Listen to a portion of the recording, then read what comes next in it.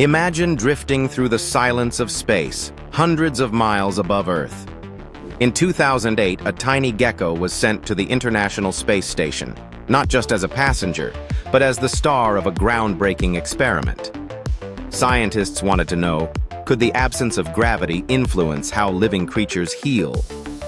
During its time aboard the ISS, this gecko suffered a limb injury. Back on Earth, geckos can sometimes regenerate lost limbs, but the process is slow and rarely complete. Yet, under the extraordinary conditions of zero gravity, something remarkable happened. The gecko began to regrow its leg, forming new tissue and even partial bone.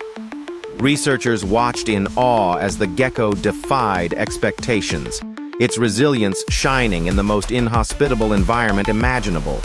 This event sparked hope among scientists, hinting at new possibilities for healing and recovery, not just for animals, but potentially for humans too.